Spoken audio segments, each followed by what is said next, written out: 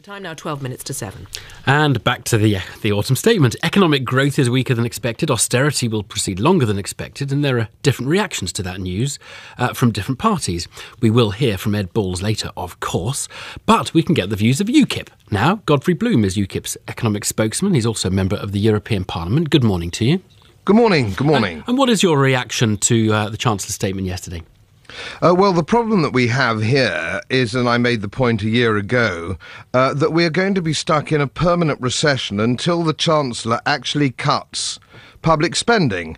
Uh, now, he hasn't cut public spending at all. In fact, it's either flatlining or slightly moving up.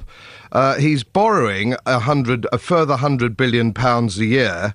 Every pound that he spends, 18 pence, goes to service the debt. So until he makes some very serious attempts to cut public spending, we're going to be locked in this recession for some time. You would cut public spending and use the money to cut taxes, or you would cut public spending and use the money to cut borrowing?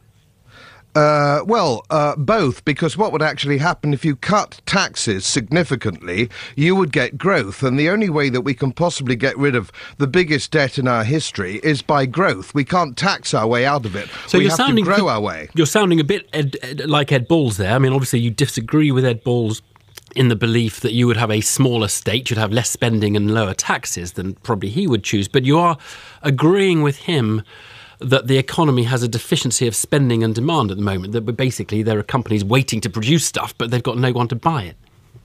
Uh, well, you must leave more money in people's in people's pockets. Now we have an extraordinary situation now, where the government, this administration, has moved uh, public spending from 37% now to nearly 50%.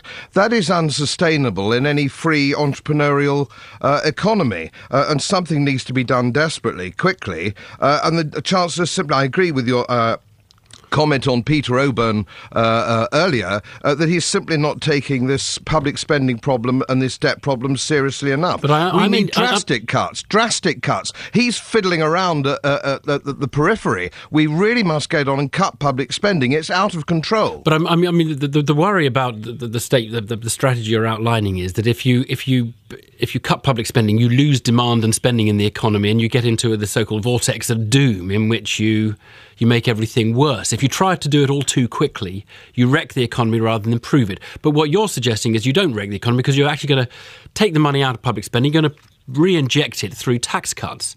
So you Yes, would still have a you'd still have the kind of tens of billions of borrowing, wouldn't you, out of all of that?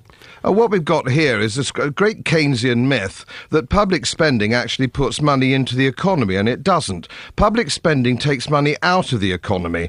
And what we need to do, perhaps, is to look back at the 1920 21 Warren Harding administration uh, in the United States, where a recession depression was avoided because they drastically cut public spending.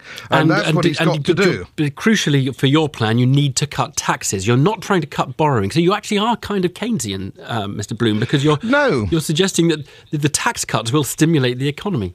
Uh, tax cuts will stimulate the economy, and That's he will actually. said. Keynes would Uh, well, that. no, uh, tax cuts. No, public spending will not. Tax cuts will, and you can only cut taxes uh, by cutting public spending. Now, let me just give you a very quick, Very, very uh, brief. Just- just five okay. seconds. Uh, my my my, uh, my constituency have uh, manufacturing uh, industries, caravans, which are on twenty percent VAT.